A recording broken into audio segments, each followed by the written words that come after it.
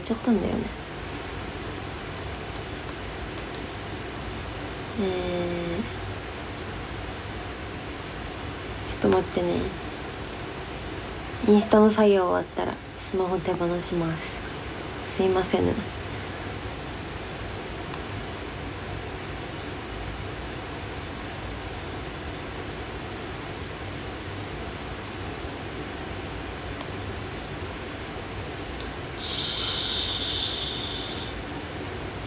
いっかハッシュタグはこれく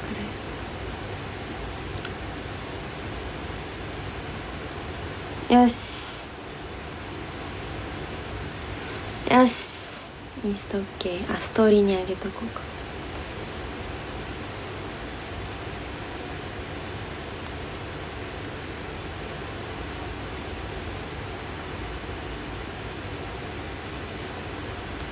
よし。みんなインスタにいいねお願いあインスタに。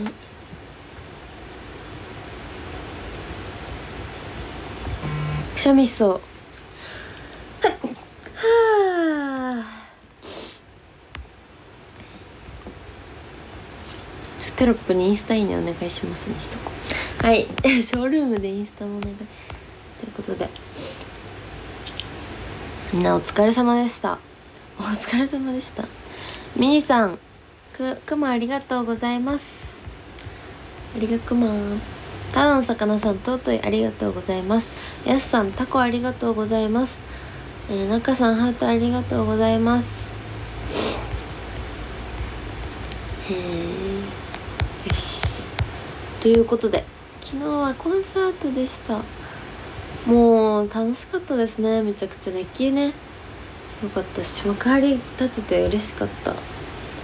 なんか映像っていうかさ他の方がやってるライブ映像とかで幕張のライブっていうのを見てたことがあるので会場にはあの会場でライライブ会場として行ったことはなかったけどだったからなんかさそこに自分が自分も HKT で立てるのが嬉しかったです。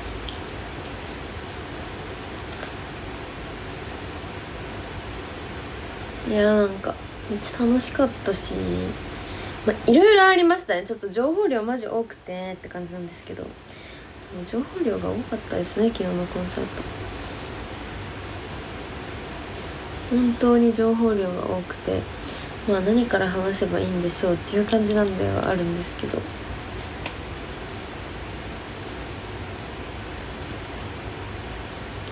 こんばんは。インスタいいねとコメントしてあってありがとうございます。パーロンさん。これ。コウモリありがとうございます。そうまあ本当にいろいろあったんですけどまず新衣装あ今インスタにも載せたんですけどオープニング衣装が新衣装であの作ってくださって衣装さんたちがね本当に嬉しくて新衣装がいつぶり全員全体の新衣装はあのあれぶりですかね。さくらさんの卒コンの時の水色の衣装ぶりだったんですけどなんか今までにない感じの新衣装の色味っていうかさなんかあのトランプトランプっていうかなんか可愛いさく紺と赤みたいなめっちゃおしゃれな色のさやつで今までない感じですっごい可愛くてちょっとすいませんメイク直します。めちゃくちゃ可愛くて嬉しかったです。作ってもらえて。これからも多分着る機会もっとたくさんあると思うんで作っていただいたのでちょっと大切に着ていきたいなって思います。本当に嬉しくて。衣装さんがなんか採寸の時にあのスカートの長さどれくらいがいいとかいじりちょっとスカートの長さ自分の似合うスカートの長さとか分かんなくてあこれくらいでなんか普通くらいでというオーダーをしたんですけどみんなにそれ聞いててなんか愛ですねってすごい嬉しかった。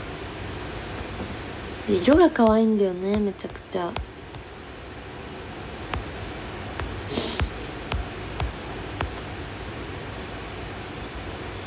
そう本当に色が可愛い。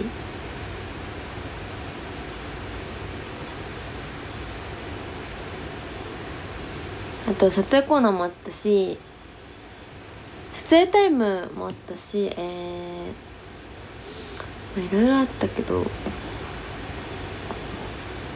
741とかひじり初めて踊ったんだよね今回。北山選ぶよも初めて踊ったかも。741初めて踊ったんだよね。意外じゃない？意外意外でもないか。なんかシングルだけどあんまややる曲じゃないからさ。初めてでした。あと十分幸せもできてやっぱ十分幸せな衣装めっちゃ可愛いんですけどちょっとひじりマジで似合うのよあれ。でも、ま、めっちゃ可愛い。ピンクでそうめちゃくちゃ可愛いんですけど。そう結構ピンピンクって感じだからそう。2回目だったんです。ツアーファイナルで披露して2回目の披露だったんですけど。あの演出めっちゃ気づ気づいたっていうかみんなわかるよね。あの幸せななんか幸せな短冊みたいな。短冊は嘘だ。短冊は嘘。なんか幸せのなんかやつ。言葉を後ろのスクリーンに出してもらってっていう面白いなんか感じの構成になっててみんな全部読めたかな？みんなの幸せ文章。そう。っていう風な構成をやらせてやって不思議なまだ映像っていうか本番の映像ちゃんと見てないんですけど全体をちゃんと見てないんですけどまだ。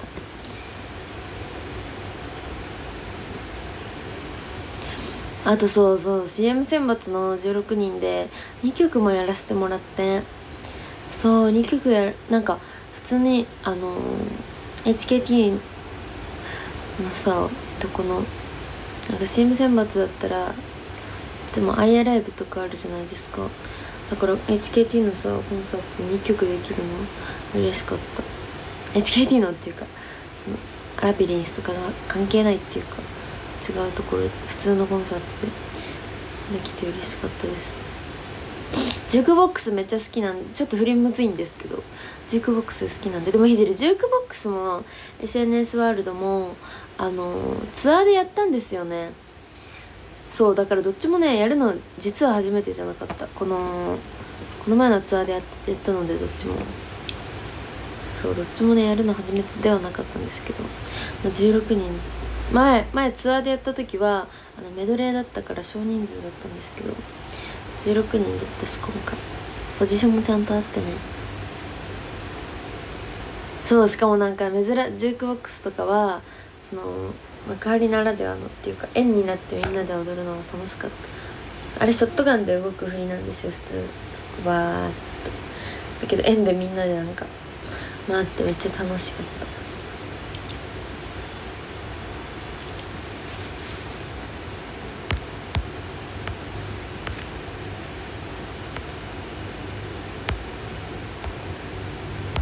えー、っと待ってよ。ビーバップ団長さんタコありがとうございます。タナさんこれ何？かぼちゃのケーキさつまいもケーキかな。ありがとうございます。でしばらく公演がないんだよね。あパジャドラがあるけど私出ないし。そうだからちょっと公演がまたいじり次のパジドラまでないんですね。あ次のっていうか自分が出るパジドラまでなくて25かな。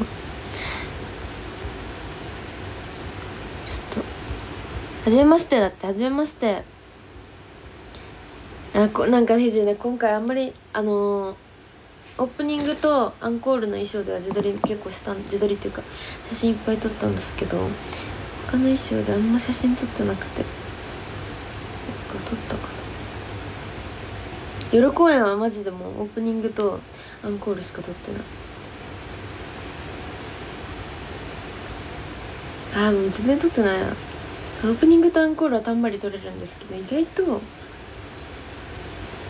そうまあ着替えもバタバタでそうそう。自撮りして間に合わなかったら怖いから先に着替えちゃうんですよね。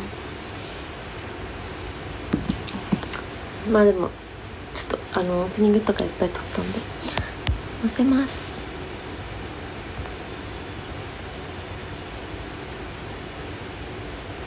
そう CM 選抜のね曲に出れたのはね皆さんリクエストしてくれた方々のおかげなんで本当にありがとうございます。嬉しい。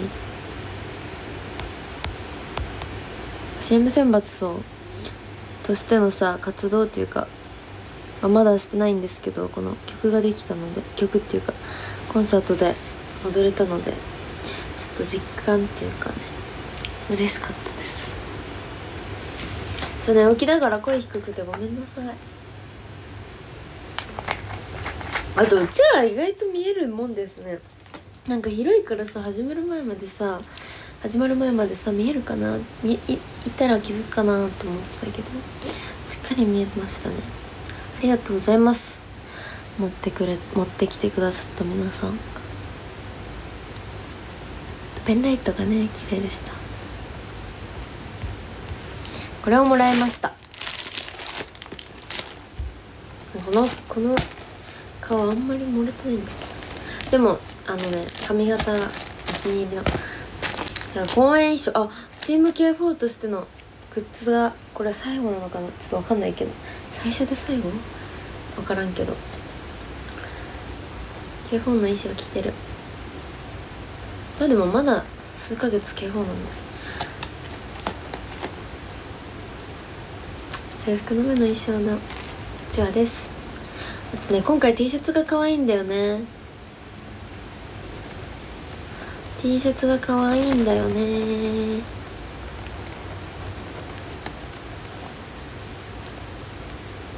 そう。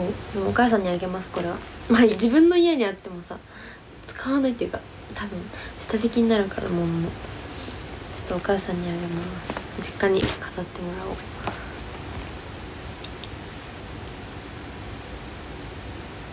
そうでもこんなコンサートが終わって大きな周年があるんですね次。周年はもっとバタバタですよ。だってたくさんあるからね。あのコンサートが周年を挟むようにあるのできっと周年の日は劇場なのかな。だからコンサート劇場コンサートみたいな感じになるんですかね。分からんけどちょっと。大変なことになりそうです。メンバーメンバーのバタバタさが。やばい気がする。ですけどまあ頑張ります。まだね何もリハもまだなんですけど。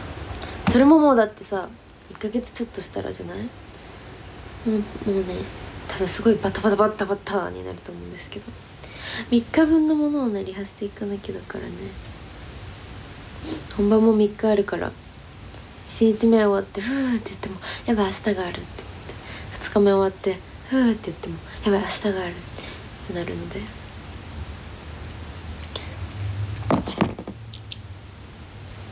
きっと大変なことになります。えー、海賊さん芋ありがとうございます。あ美味しそうだ。葵ちゃんさん誰もありがとうございます。あ場所だ24か。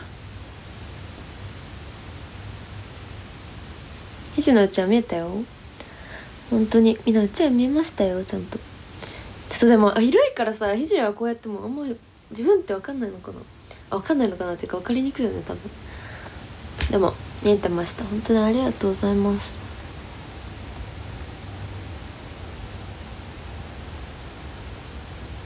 目のせ衣装の中でなんでそれ選んだのだって。あこれはあの公演衣装でえっと着たことある衣装を選んでみたいな感じだったから。で目のユニットは第6巻とあの万華鏡しかしたことなかったんですけどその2つはまあちょっとあの二度で出るからちょっとあのちょっとはずいなと思って。で目ってさお腹出し多いじゃないですか。だからちょっとはずいなと思って。一番あの 守られてる。なんかコートコートなら誰もいないかなと思って。一番頭のコートにしようかなとか思ったんですけどなんか詰まってるからちょっとあの顔でかく見えちゃうかなと思ってやめました。コート誰もいなかったね。でもコートと迷ったんですけど。あの一番最初の激重のコート。と迷ったけどまあすっきりする方して見える方がいいかと思ってこれにしました。って感じだよ。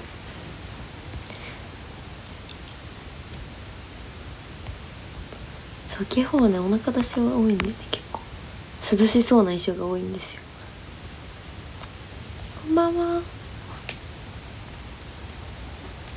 あそうハウステンボスのカウントダウンライブ。そうだ。ハウステンボスのカウントダウンライブ。カウントダウンライブ。ありますあります。皆さん来てください。去年に引き続き。でもあの去年も去年も私そうだったんですけどちょっとねまだ高校生なんであの花火の瞬間ね入れ入れないんですよねステージに。だからその22時までかなは大丈夫なんですけど年越しの瞬間の花火は去年は去年も客席の方の芝生の方であのちびっこメンバーたちと花火を見てたんですけど多分今年も今年増えたから6期生6期生入ってちびっこメンバー増えたんで去年よりも増えたメンバーで芝生で花火を見るのかな分かんない。そこまで出るのかな HKT でも私は出れないんでちょっと。はちょっとスマホを抱えて花火を撮ります。でもあれ楽しかったな去年のあのなんか大晦日をみんなで過ごす感じとか。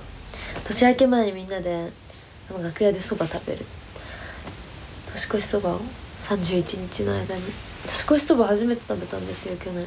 カップカップそばだけど。めっちゃ楽しかった記憶あるから嬉しい。なんかメンバーと過ごせるのが嬉しいですよねそのまたぎを。あの31日にあお仕事で会ってとか1日にお仕事で会ってとかじゃなくてまたぐ感じで会うじゃんもう。一緒にニューイヤーみたいな感じで一緒いるから楽しい。そう。楽しみとそうまあいろいろ話してないよまだ。そうクラス替えがありましてでこの話だよめっちゃ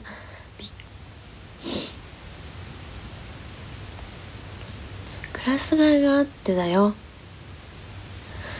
もう初めてでしたクラス替えは。ていうか HKT 自体も超久しぶり。で2回目なんですよね。そうでも葵さんが出てきてえ？みたいな。何かと思った。もうキンコンカンコンっていう始まり方で。え？みたいな。何？でひゆえるさんと隣だったんですけどもう2人でずっとえ？みたいな。え何何？話してました。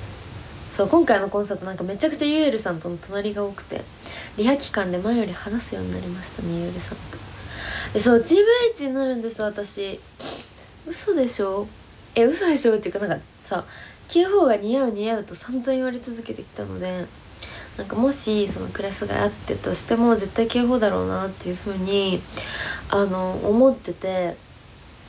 そしたらまさかのだから自分が葵さんが「可愛いラヒジリ」って言って、まあ、中央に出るじゃん。その時も多分警報だろうなってずっと思っててそしたら「H」って言われて「はあ」みたいな「えー」と思ってそれで出たのがあのリアクションだったんでそう K4 でも H でもどっちでも嬉しかったので本当にどっちでもよかったっていう言い方ちょっとあれだけど本当にどっちでも嬉しかったから H って言われてびっくりして反応があれになりました。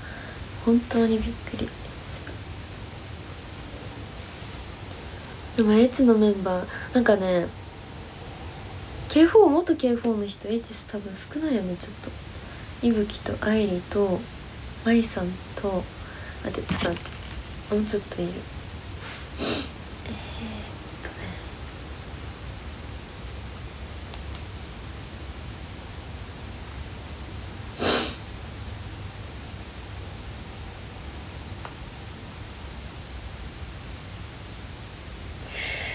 えー、っと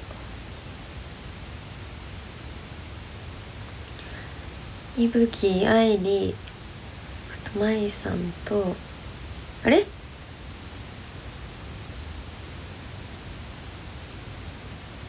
あひろなさんとあれ？それだけ？あれ？あれ？以上かな？え結構少なくない？もともと結構が少ないのか。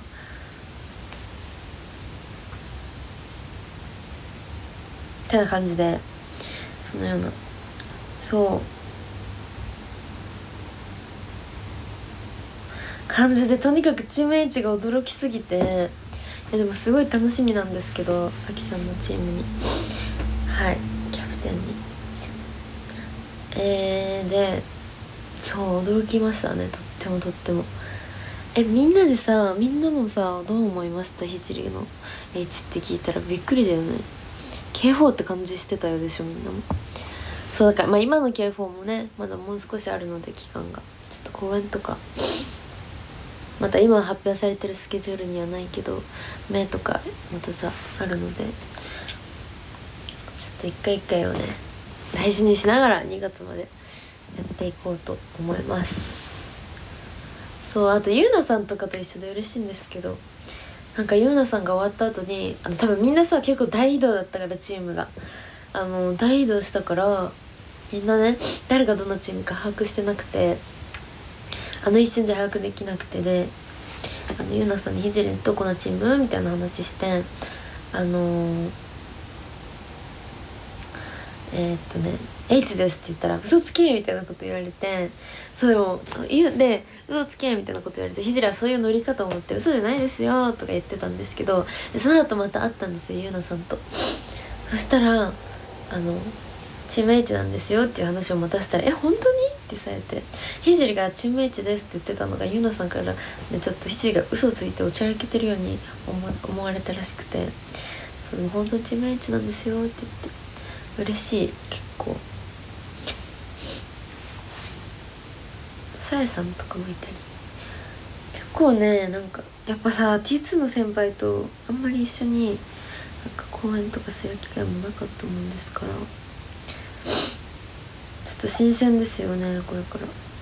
チーム H もともとチーム H だったメンバーはひじりリセットに結構出てるんで多分意外とあのチーム感がもうあるちょっと分かんないけど意外となんかね K4 と H はさめっちゃ少ないからお互いに出まくってたのでアンダーで。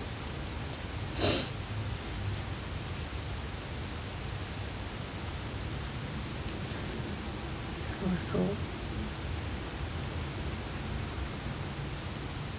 小田さん小田さんと一緒も嬉しいな。てか嬉しい。楽しみです。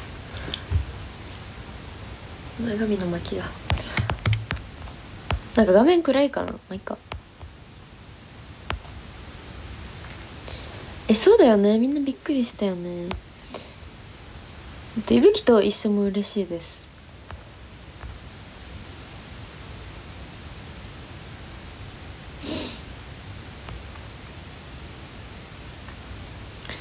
そうまただからちょっとねいろんなメンバーと話せるように話せるようにっていうか仲良くなれそうかも。めちゃくちゃ仲良くなれそう。なりそうっていうかなれたらいいなって思います。チーム H なんで。マジでチーム H なのがさ絶対一生言い慣れない。チーム H の。あでもひじり自己紹介の時チーム K4 のっていつも言おうとして忘れちゃうんだよね。パジドラの時はね言うんですけど。いやー本当に本当に楽しみだし今の K4 もねちょっと楽しみて楽しみたいと思います。本当に驚いたよね。てか意外とさ一人一人に時間かける発表の仕方でさ緊張したそれが。なんか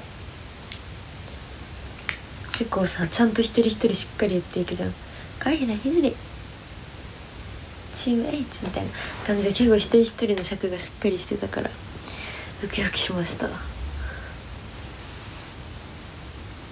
葵さんの発表がひじりたちの5期の昇格の時もあの葵さんが来て昇格発表だったんでなんかそれがもう安定してて私の中で。みんなの中でそうだよね。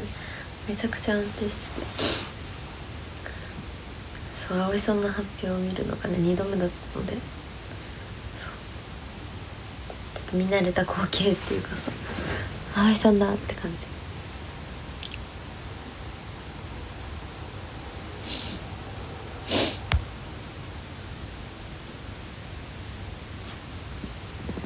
かなんかさチーム H になりますみたいなツイートしてから友達からさ学校学校っていうか地元の友達から「チーム H どういうこと?」みたいな。こう連絡がさな2人くらいに聞かれて。そう。ひじりは今警報なんだけどクラス替えしたんするんだよみたいな。返事をして。そういう普段別に LINE さ活動について LINE 来ないのに急に LINE 来たからびっくりして。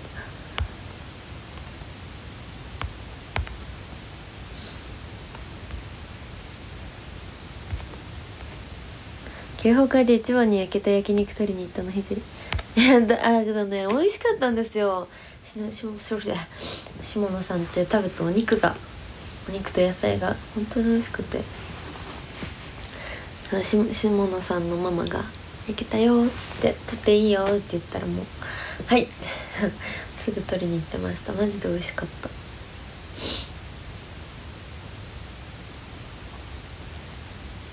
そうでも警報会もで警報会できてよかったですね。不爆もあのして下野さんが卒業される前にも。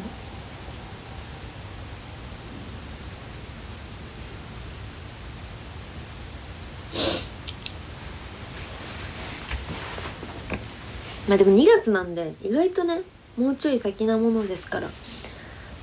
そうそう。そうそう。だからちょっとね時間はあるんですよ。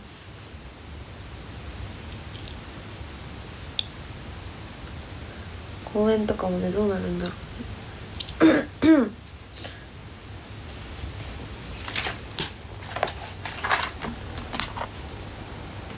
ん。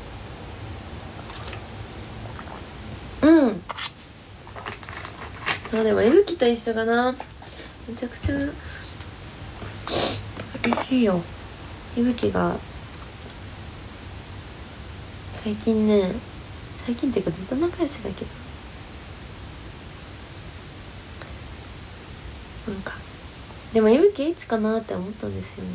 思ったっていうか自分がひじり結構最初の方に発表されて結構その後聞く聞く側だったからさ。いぶき多分 H かなと思ったら H だったし。そう。なんかでもここまでさ結構5期生は結構あれですね。基本だったメンバー H になりましたね。愛理とあ愛理とひじといぶきだけか。でもそう。愛理とも一緒だし。あとりのが5期生で一緒だ。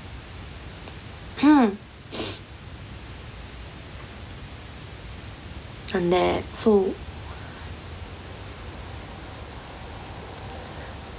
結構ね。だからでもさそうなのよね。あのー、アンダーが多分なくなるのかなくなりはしないのか。な分かんないけどまあ16人だからあのー、アンダーが今までは K4 もすごい人数少なかったし H も少なかったんでアンダーがほぼ半分アンダーとかだったじゃないですか、まあ、H が半分アンダーとかで K4 も4人くらいはアンダーでまあ出れない人がいたらもう5人6人アンダーとかそういう感じだったけどそれも多分なくなるからなんか本当に違うチームだとあんまり会うこともなくなりそうじゃない？アンダーだったら結構会ってたんですけどだから H のメンバーとも結構会ってたんですけど。そうするとあパジャドラがあるかでも。パジャドラがあれば会えるのか。チーム公演が続いたりしたらそうあれですね。あんまり合わなそう。このチームのメンバーとか。っていう。ねなりそうだよねそんな感じに。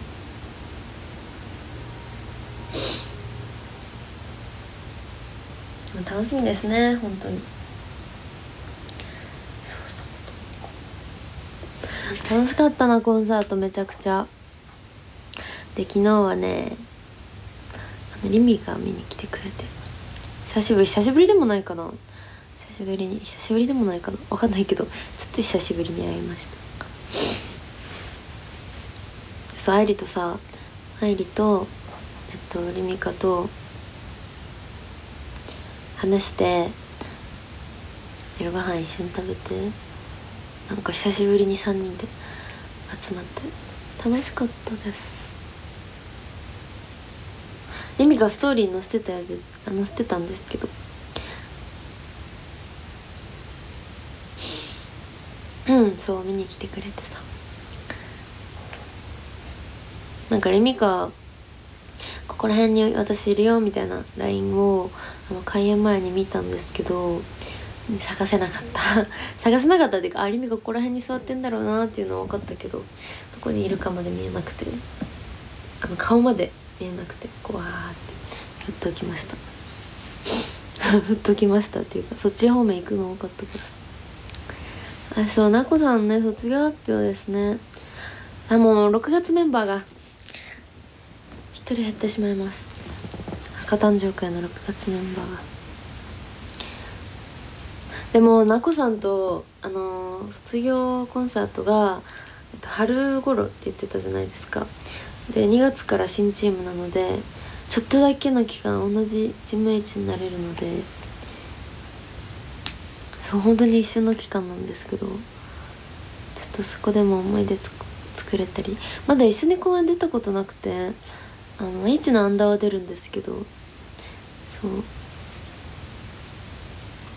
一緒に公演出たことないんですよ。だからちょっと私新チームの時に一緒に出れたら。いいなって。思います。そうそう。寂しいです。なんか公演もう今月でそのさとってもいっぱいみんな卒業するので。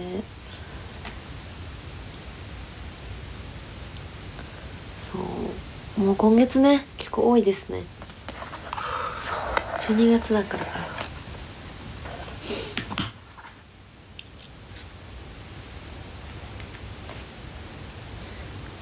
も公演のね出雲祭りの時もドキドキしちゃうし。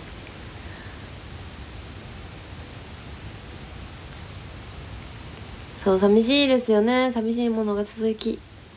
この12月からあ12月じゃない。10月10来月から卒業公演が割と続いていってそして春にはまた春まで続きますねなこさんが。でもコンサートるのでまた思い出作れたらいいな。卒業メンバーとみんなで思い出作りたいです。といってもね同じチームが下野さんだけなんで一番会えるの下野さん。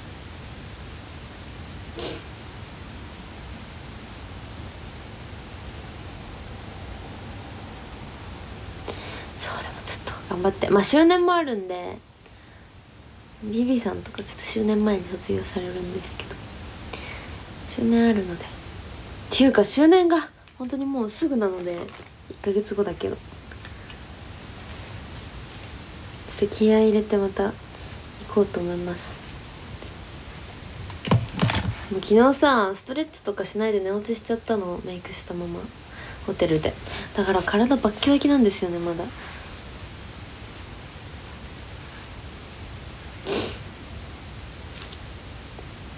そう昨日サイドポニーしました。一番なんかさツアーの時にサイドポニーしたんですね。そしたらあの見つけやすいって言われたのでなんかサイドポニーコンサートでどんやる髪型にしようとか思ってコンサートで昼夜サイドポニーしました。見つけやすいかなサイドポニーやっぱり。あんまりやってる人いないもんね。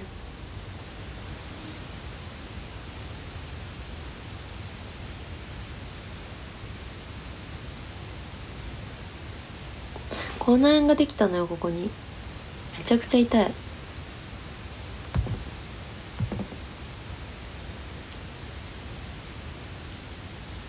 そう昨日寝落ちしちゃってめちゃくちゃ反省しましたメイクしたもん寝落ちしたからさ肌が肌がボロボロになっちゃうそんなことしてたじゃあもう帰ってきてスーツケースのさ荷ほどきっていうのかなへじり荷ほどき本当に苦手であそこの今今目線の先にスーツケースがあるんですけど絶対あと1ヶ月くらいいつもマジで放置しちゃうんですよね。必要なものがあったらスーツケースの中から取るみたいな。あちょっと入ほどきめんどくさいな。でも新しいスーツケースなの。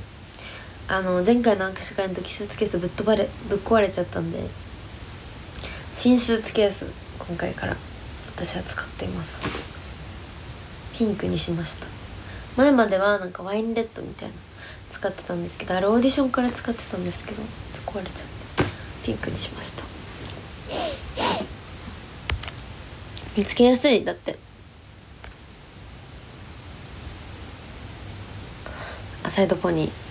嬉しい。サイドポニー似合うってめちゃくちゃ言われるんだよね。HKT 城ね HKT 城のビビさんの煽り超好きだからさ寂しいですね。てか声が高いからさビビさん煽りの時の。なんかアイドルって感じでめっちゃ好きなんですよ。聞こえるしめちゃくちゃ。コンサートって感じだよね。盛り上がるしめっちゃ。寂しい。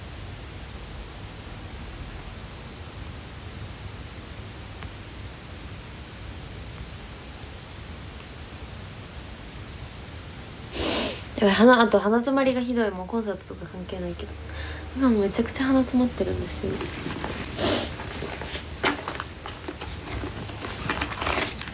本当に鼻詰まり女。すぎて。とね亀戸籍の皆さんがあのタグつけて載せていただいてるので。そうちょっとエゴサをします。あとあれも載せてあのぜひ載せてくれたら。あの撮影タイムとかもねひじりが映ってたらハッシュタグつけてちょっと見たいかも。どんな感じなんだろう？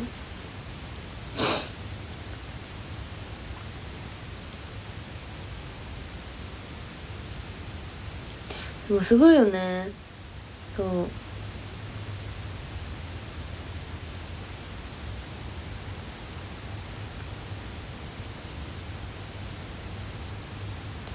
あ最上ちゃんだ。最上ちゃんだっていうか最上ちゃんと同じチームになるからさそんなちゃんと話したことないんで話したいです。話したいですねっていうか話してみたいかも。ちょっとしかちょっとっていうかなんかコミュニケーションちょびっとしか取ったことないんで。同じチーム H になるので。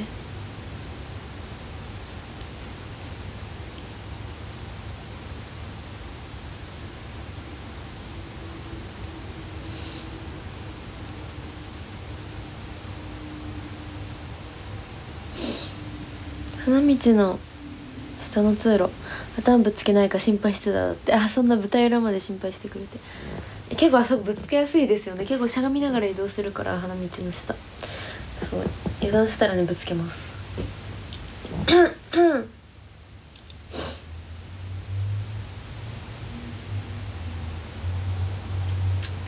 エゴサするので皆さんお願いします。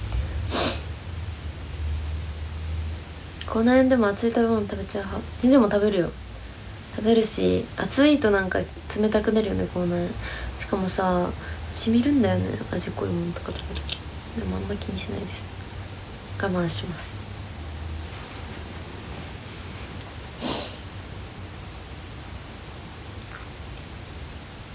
本当に6期生のみんなともっと喋れるようにならないと。なりたい。でも昨日ちょっと喋った。あの終わった後ひいろちゃんとかえぐっちゃんとかえー、カレンレンとかも喋ったし。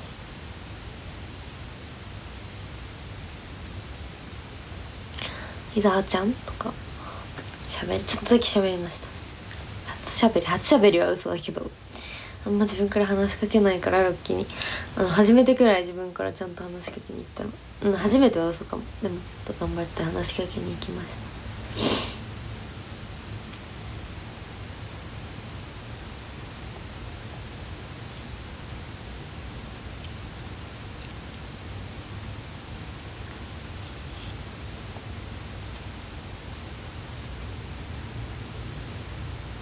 お腹すいた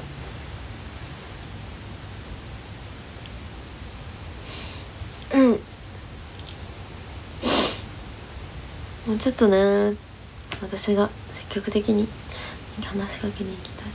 ロッキからはなんて呼ばれてる？えひじりさんじゃないかな。でもひじりさんっていう言葉慣れなくてさそう「あひじりさん」みたいな。リハの時とかね「ここ何番でやってますか?」みたいな。あそうだよ」とか言ってだからタメ口で話すのもなんか慣れなくて同期以外にタメ口で話すのも慣れなくてあのだから先輩あの先輩じゃない先なんかタメ口で話すのがよそよそしくなっちゃうなんか「あそうだよ。ねえ」みたいな「その番号で合ってるよね」みたいな。変な喋り方になります。だからひじり人をね慰めなんかなんか人に声かけることをしなかったしなかったっていうのが下手でなんか落ち込んでる人とか見るとさそれを話しかけるたくなるじゃないですか。でもさそれが下手なんですよめちゃくちゃ。だから本当に下手だなと思った。昨日とか。なんか声のかけ方下手やなと思った。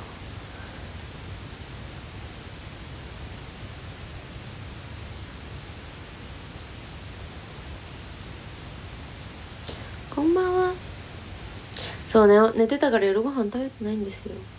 お母さんが鍋の用意してくれたんでちょっと遅いんですけどまあ昨日頑張った。ちょっと鍋を食べますこの後。肉と豆腐を入れてお母さんが野菜を切ってくれて野菜切ってくれてるので。と今日は帰りにクルイブピナとご飯して。あ5期生の年下面じゃない？クルイブピナってくるみとイブとひじりとピナって5期生の中年下面だよね。今の。あちょうどそれだったんだ。あれ？他にいたっけもっと下の人？いないよね。今の。そうでえっと4人でご飯してなんか4人でご飯珍しいような。珍しくないような。感じだったんですけど。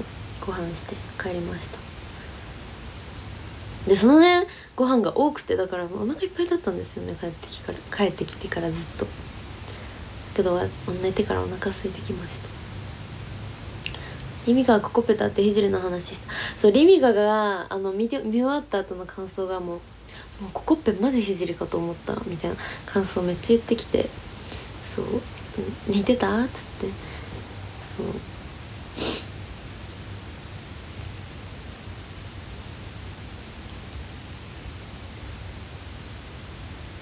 そうそう。めっちゃ似てたらしい。でも行きの飛行機やばい行きの飛行機さココッペとその隣だったんだよね。飛行機爆睡しちゃうタイプだから。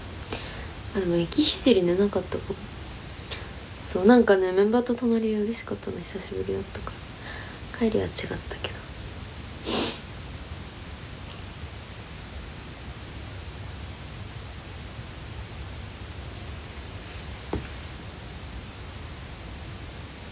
まあでもちょっともうちょい余韻に浸りながら。明日ぐらいまで。でも今日はちゃんと足をマッサージして寝ます。昨日サボったんで。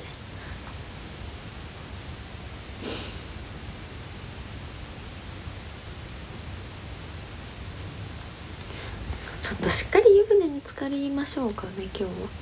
しかも聞いてほしい話がある。あのえっと幕張の前日に前日の夜にひじりオルナミン C 幕張のコンサートがこの昼と夜の2回公演だったからあのー、昼と夜の2回公演だったからあのねあれをしようと思ってオルナミン C を飲もうと思ってあのこうオルナミン C を夜買って帰ったの。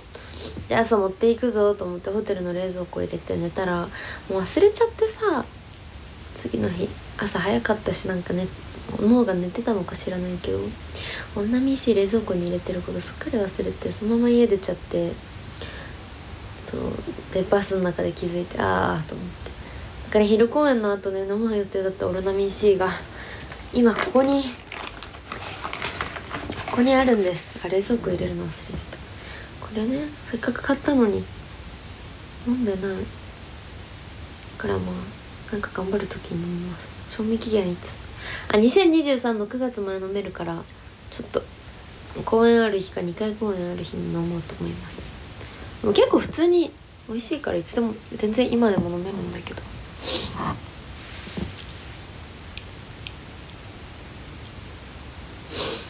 ということでせっかく買ったのに飲めなかったんですね。悲しい話です。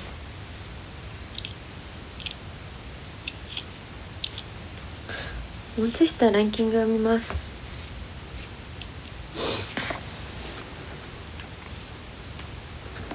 でも昼公演の後にひじら本当にもうもう無理だと思ってあの多分全メンバーそうだったと思うんですけどなんかやっぱアドレナリン会場なんかでさ熱気出るじゃん。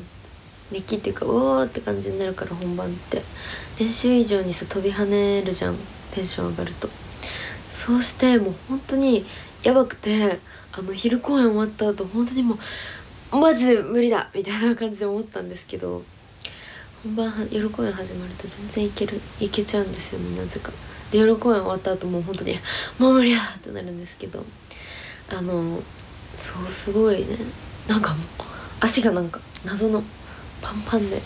でもマッサージしてくれもらったんで昼の後。昼夜の間で。そうそれも結構ありがたかった。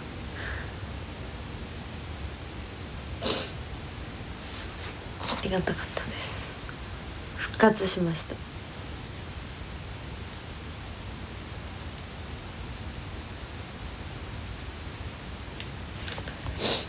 う んランキング読もうかなそろそろ。ちょっと久しぶりのショールームだったんですけど。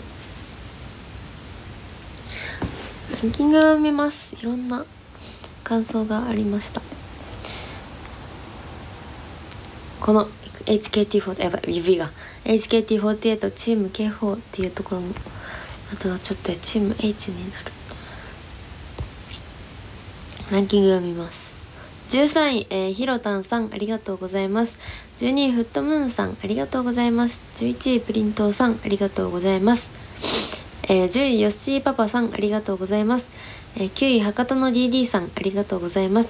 8位ポアロンさんありがとうございます。7位ヤスさんありがとうございます。6位海賊さんありがとうございます。5位アンダハローさんありがとうございます。4位ミニさんありがとうございます。3位タナタナさんありがとうございます。え2位ただの魚さんありがとうございます、え1位中さんありがとうございます。ということでありがとうございました。皆さんありがとうございました。もうコンサートもねありがとうございました。ちょっと余韻がみんなあると思うんですけど。まあ周年に周年もあるのでよろしくお願いします。インスタ見てね。衣装載せたから。衣装載せました。じゃあありがとうございました。本当にありがとうございました。お腹すいたね。ではではではではでは。ありがとうございました。またね。おやすみなさい。バイバーイ。